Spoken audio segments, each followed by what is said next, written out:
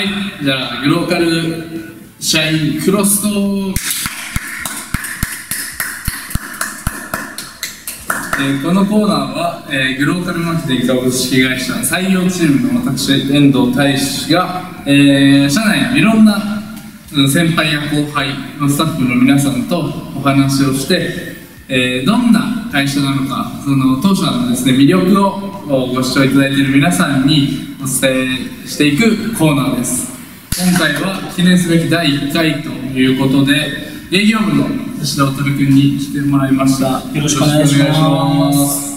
えー実は、えっと、僕が先輩で、渉君が、えーっと後輩なんですけれど、年齢は一緒っていうね、そうですね。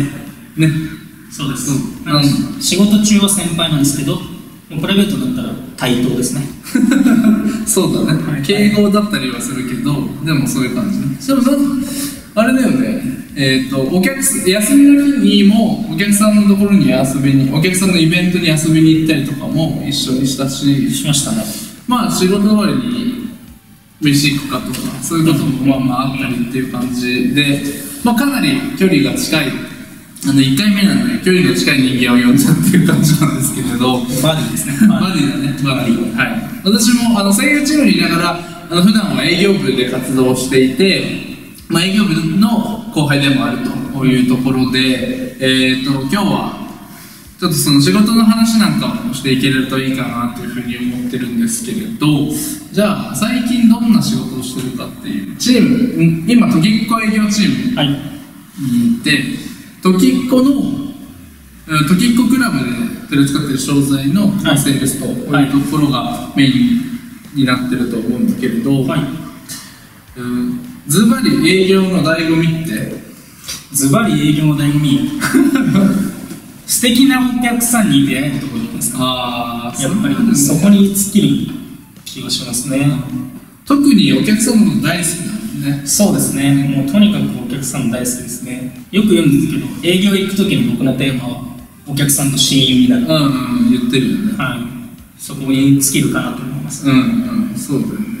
いや、まあ本当営業とかってさ、まあうちの社内見てもそうだけど、人それぞれいろんなこう形というかもあって、あの、絶対こうやればうまくいくっていうことはないけれど、でもやっぱり、うんと、うまく進めていくためのこう型というか、コツとかポイントみたいなところはやっぱりあるような気がして、それは、うちらがね日々お客さんで営業支援する中でも、そういうことをお伝えしているけれど、あのやっぱりそういうのは結構感じるよね。そうですね。でその中でのポイントとしてやっぱりそういうお客様との信頼関係を取るというあのちゃんと作るというかその辺はやっぱ結構ポイントなのかなと思うけれど、大事だと思います。うん。特に今なんか、まあ、昨今のコロナウイルスの影響で、まあ、固定費というか反則費みたいなのを抑えたいところはあると思うんですけどいやそれ以上に石田さんにお世話になってるねみたいなのを言っていただいた時はやっぱり嬉しかったです。うんうんうん。それはあるね。そういうエピソードはやっぱりすごくお客さんとの距離の近さを感じられるというかねそれはあると思う。もちろんねサービス提供する以上ね。きちんとこうご活用いただいて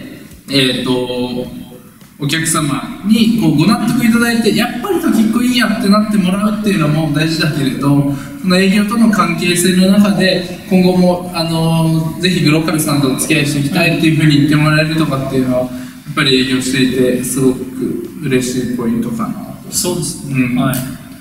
まあでもまだ2年目。2年目。でそうですまあ、去年、まあ、入社1年目から本当に大車輪でいろいろやってくれてたなという中で、えー今2年目になって、でもこう役割というかはすごく変わってきたなというふうに思ってそうですね。まあ、後輩も今そうですね。見てもらったりとか、えーまあ、新入社員の指導役として今やってもらってるけれど、変わった？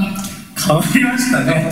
いやあの、まあ、いい言い方すると充実してますけど、ん。きついっす。よ変なことは多いよね。大変ですね、うん。まあそ去年とかだとおんぶに抱っこでよかったわけじゃないですか。まあまあまあ。もう分かんなかったら聞けばいいしで自分のタスクに時間が割ける量が圧倒的に多かったんですけど、やっぱこのもう最初の3ヶ月とかはもう ね、まあそうですね。まあでもそれは皆さん通ってくる道まあそといううか、ね。本当にそうそう本当にそうでみんなが通る道でやっぱり自分が後輩になる時もあれば先輩になる時はいずれ必ず来てそういうふうに後輩の指導をしたりとかっていうのは出てくるけれどそのやっぱり自分がプレイヤーとしてやって成果を上げるってとっても嬉しいけれど後輩がその成果を上げた時の喜びといったらうん。計り知れなくない。嬉しいですね。でもともとまあそういったことをずっとやってきてたので、うんうん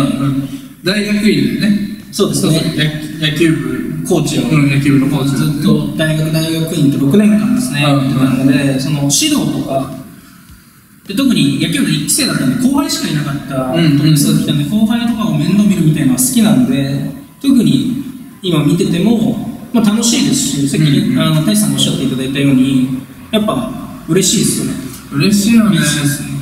まあいろいろとこうキャキャリアステップというか、うんうん。踏んでいく中でこうあんまりこう長い先の話してもあれだから、うん。来年はどういうことしたいとかどういうポジションでどういう仕事してたいなみたいな、来年ですか？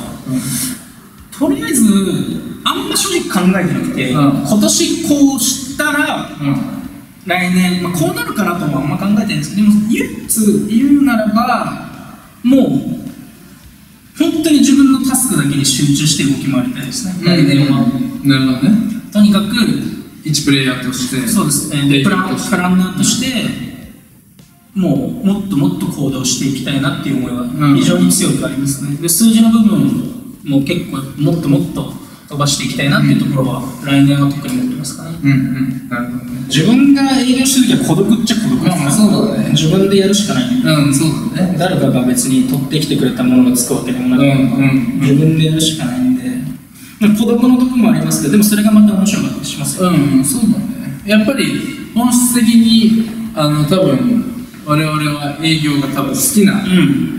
そうですね。人間だから、はやっぱりここをもっともっと高めていきたいみたいな思いはね、でも今後もいろいろ切磋琢磨してやっていけると。そうですね。だからそだからもう本当冒頭お話しした通り年齢同じだからうん。あの5年後？10年後とかってなれば、うん。多分もうほぼね別にささと、まあ、今でも別に下がるわけじゃないけれど。いやありますよ。ないけど、で。もまあ、だんだんね、こう、なくなっていった時に、またね、いろいろと、こう、高みを目指していけるそうとですね。いいかなというふうに思いますし、またね、こういうふうに見てくださってる方が、後輩として入ってきたら、うん。楽しみだね。楽しみですね。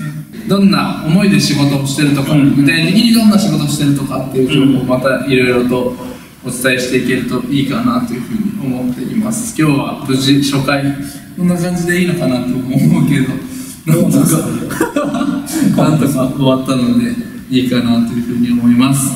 じゃあぜひご覧いただいている方、チャンネル登録いただければ嬉しいです。また2回目、3回目の動画もお楽しみに。では、ありがとうございました。